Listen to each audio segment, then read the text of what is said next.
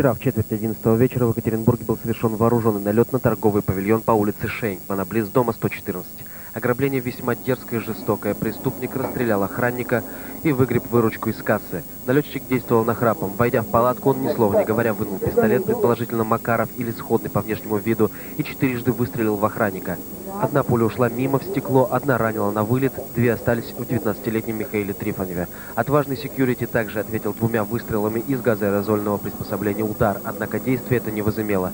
Грабитель выгреб из кассы выручку и скрылся. Все это время продавец палатки находилась в подсобном помещении. Сначала по своей нужде, а затем от страха. Однако после ограбления она поспешила к соседнему коммерческому киоску за помощью. соседнего киоска самое, подошла, самое, с испуганными глазами сказала то, что так и у них охранника это самое, подстрелили.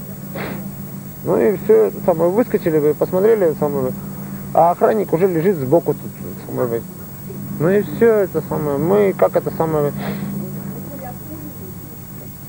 оказали ему первую помощь, самое, ну посмотрели, что почем, ну посмотрели, что там нам ни о чем, не это самое, ну, как вам сказать, Ну, он жив был? Ну он жив, да, все, все нормально было. А раненый паренек самостоятельно выбрался на улицу, где ему помогли коллеги, а затем и врачи, прибывшие скорой помощи. Охранник Трифонов смог даже описать приметы грабителя, пользуясь которыми милиция начала поиск. Сам Михаил был доставлен в реанимацию 24-й горбольницы, где пребывает и сейчас в крайне тяжелом состоянии. Поражает в данном случае жестокость, которой прибег преступник из-за небольшой, в общем-то, суммы в 6 тысяч рублей.